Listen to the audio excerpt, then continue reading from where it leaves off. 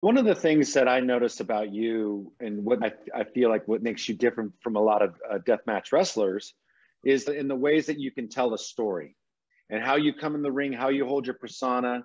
But what I really want to know is, is what led you into the whole deathmatch arena?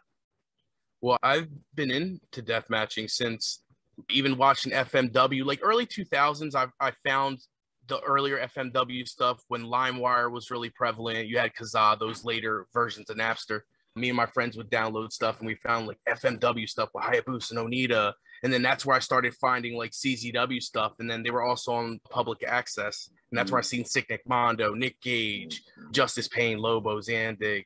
And I was like, oh, they're using glass. Like uh, that, this isn't fake wrestling. This isn't even ECW. This is hard, more hardcore than ECW and I got really into it. So then when I broke into the business, initially I wanted to be a deathmatch wrestler.